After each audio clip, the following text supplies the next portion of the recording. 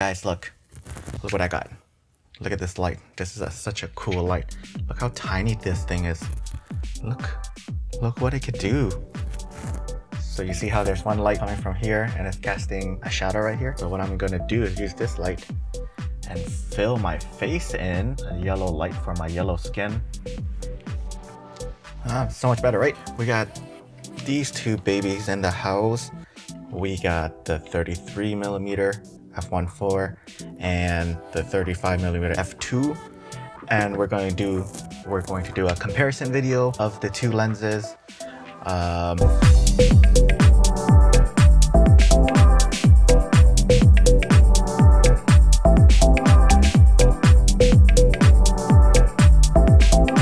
guys, it's me again. I am Tung and today I just want to do a little comparison video on these two lenses right here, these two bad boys, the XF33mm f1.4 versus XF35mm f2. This is not going to be a technical video. I am not a technical person. I rather share with you guys my experiences so I don't like any of those brick wall sharpness tests like some other creators do on this platform. But if you want to see something like that, I would recommend uh, checking out Christopher Frost's video uh, he did a very good job on a comparison video on the the, the XF35 F2 versus the XF35 F1.4 as well as the 33 millimeter F1.4 and he does all the sharpness all the sharpness tests and stuff like that. I'll leave his link in the description below if you want to check that out. I think he did a wonderful job on that video. And um, yeah you get to see more of that sharpness thing uh, that he gets into. Personally me i like going out and testing this uh, out in the settings you guys would probably use these lens in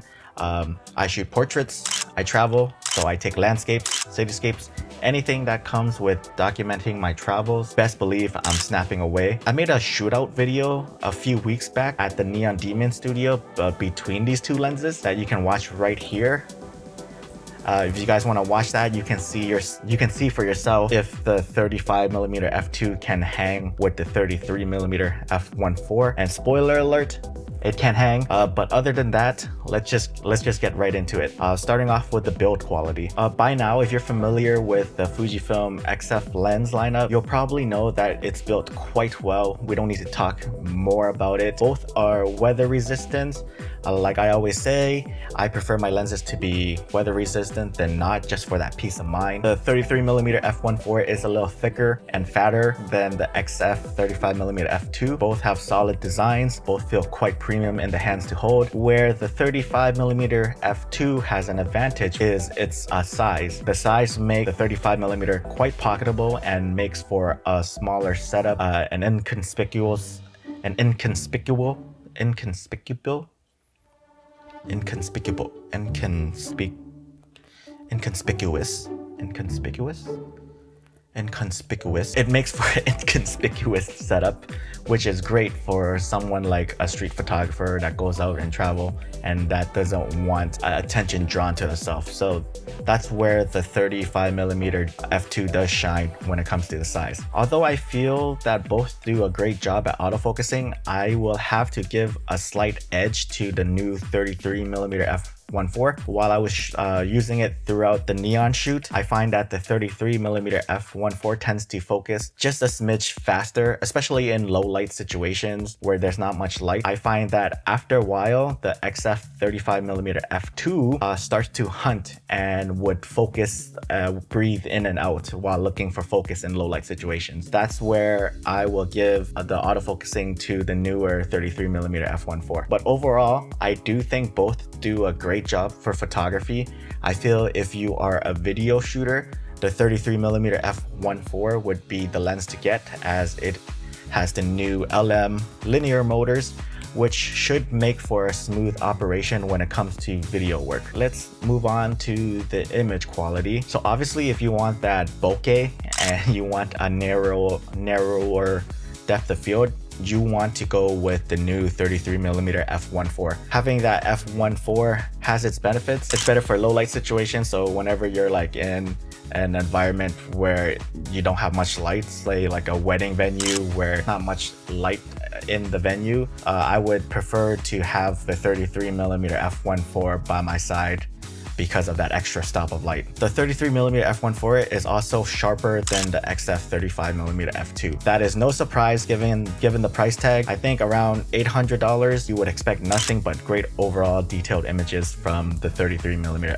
f1.4. But again, that's not to say that the cheaper, older 35mm f2 doesn't take great photos. It takes amazing photos. If you just go back and watch my shootout video with at Neon Demon, you can see that this lens definitely holds its own when it comes to image quality against the 33mm f1.4. And in some cases, you can't tell. It's only once you start pixel peeping, you'll notice a difference. Uh, but if you were to view this on a computer screen or a phone screen, you really can't tell. And that is something worth noting if you have, if you already have the f2 and you're thinking of upgrading to the 33mm f1.4. If you have the 35mm f2, I don't think the image quality alone is worth justifying to uh, the 33mm f1.4 just for a little bit of just for a, a, sharper image. So let's go over reasons why you should upgrade to the 33mm f1.4. One, if you're rich and you have the money, by all means get the best of the best. And right now the best of the best when it comes to the 35 millimeter focal length is the 33 millimeter f1.4. Two, autofocusing. With the new XH2 rumor to be announced next May, uh, Fujifilm has updated their new newer lens to be video friendly. Uh, they are using the new linear motor, which I find has a smoother autofocusing, which is pleasing for video creators. And three, uh, the f1.4. If you really want that shallow depth of field, or you find that in certain situations the f2 uh, doesn't give you that much light, by all means upgrade to the f1.4. Uh, again, that extra stop of light does help when it comes to uh, your image quality uh, in low light situations. Reasons why you shouldn't upgrade. Number one is image quality. Although the 35mm f1.4 uh, performs better when it comes to sharpness, image quality, I don't find that it's worth the upgrade if you already have the f2 lens. The 35mm f2 still takes amazing photos and judging from the comments from my shootout video, uh, some of you guys can't see much of a difference to justify upgrading. And number two, uh, it's expensive coming at 800 US dollars versus 500 US dollars. It's a lot of money. I would rather use that difference and invest in other things such as memory cards, lighting, camera access accessories, etc. Number three, uh, the supply chain. Um, it's quite hard finding these newer lenses now. Uh, some people are having are having a hard time getting them in stock. So just be aware that